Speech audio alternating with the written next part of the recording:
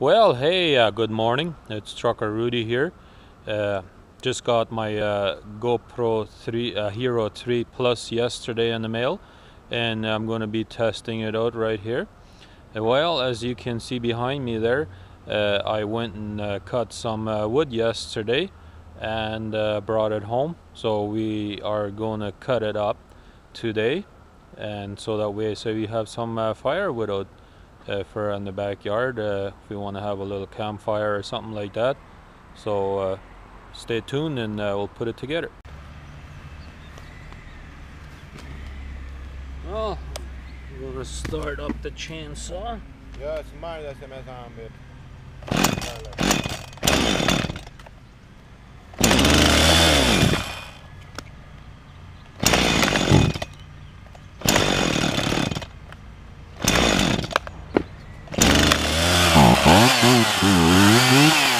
Música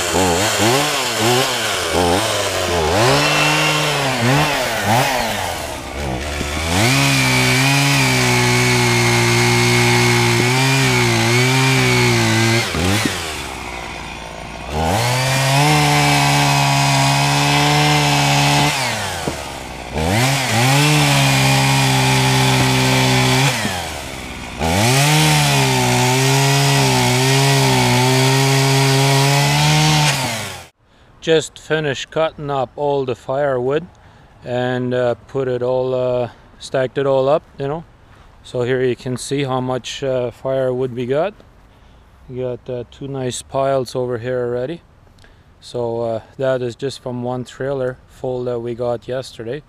We'll uh, probably get another trailer full today.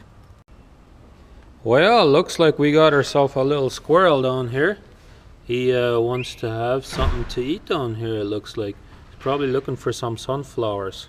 My son really, really loves uh, feeding the squirrel down here, so I figured I'd put that on here as well. It might be pretty interesting to some of you. So, uh, anyways, uh, I am recording this uh, show uh, with my GoPro Hero 3 Plus today. I uh, hope you guys will be able to notice the difference in the uh, video quality. I certainly have noticed the uh, difference. It is definitely a lot better than uh, what uh, what just uh, with my regular phone, you know, and my dash cam that I was using until now. So this should definitely improve a lot. So I hope you guys like the video and if you did uh, please like it and uh, subscribe to my channel and uh, you'll see more interesting things coming up. And uh, uh, don't forget to share uh, share this video.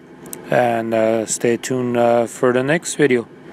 And I will be leaving some descriptions there in the bottom there for my where you can find me on Facebook and Twitter and also Google Plus and you can also email there so I leave my email address in there. So thanks for watching